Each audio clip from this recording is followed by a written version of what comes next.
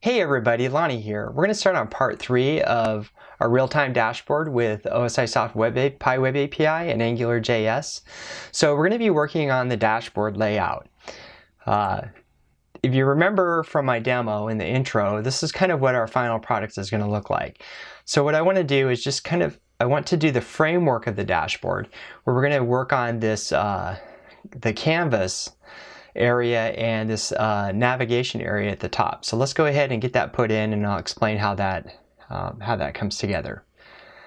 So we left off um, with our index HTML page with all our uh, CSS styling and our scripts in there and everything looks like it's great. So let's go ahead and put in um, some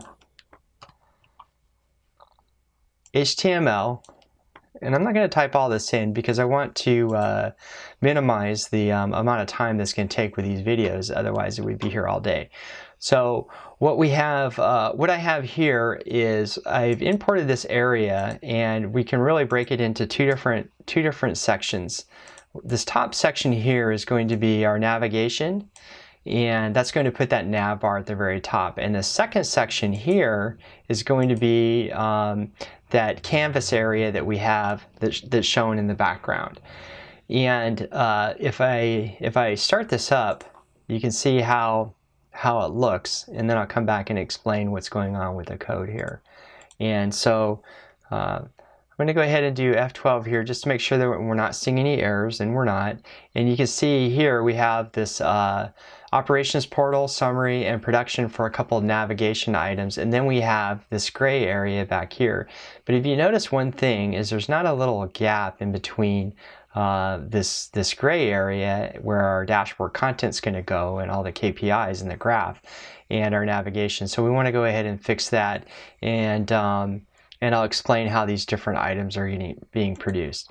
So this uh, this the whole way that um, that we're we're achieving what we just saw here is through these classes and these classes like navbar, navbar inverse, navbar fixed top. These are all CSS um, stylings that are getting getting applied to an element, and this is what is creating the the background color, the width, um, and the behavior of how things are aligned and stuff like that. It's all through styling, and that's coming from the Bootstrap library. So we're just using some common Bootstrap things so you don't have to do that by hand every time. Same way with this container. This container is creating an area within that navbar, and then we're going to place uh, our um, our uh, brand, navbar brand, is formatting that makes it larger. The operations portal uh, is in larger uh, font size. And also, if we click on that, we're going to direct to uh, uh, uh, summary, self-referenced UR, URL. This pound sign just means that we're not going to go back to the server. We're going to actually stay within the browser, and that's where a router eventually is going to handle that request.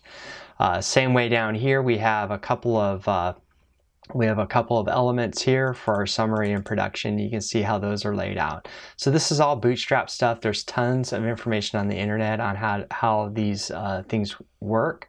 Um, and you can look at that if you want and go in and you know modify it as you as you deem necessary. The uh, the last part is this uh, Jumbotron class, which is that container is creating that gray area on the back below the nav bar, and um, this is where we're not seeing, uh, we're not really seeing a division between here and our, our navigation bar. So I want to go ahead and fix that. And we're going to do a little bit of CSS to fix that um, problem. Um, I'm going to go ahead and stop my application because one of the things that, uh, that, um, that I usually do is I'll create a folder and I'll call it app. And this folder here is where all of my uh, files for the client application are going to reside.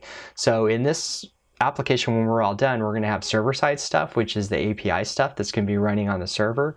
And we're going to have this client uh, this client uh, files that are going to create this client application that's going to be running in the browser. So all that browser stuff I'm going to I'm going to um, have that all reside in this application folder.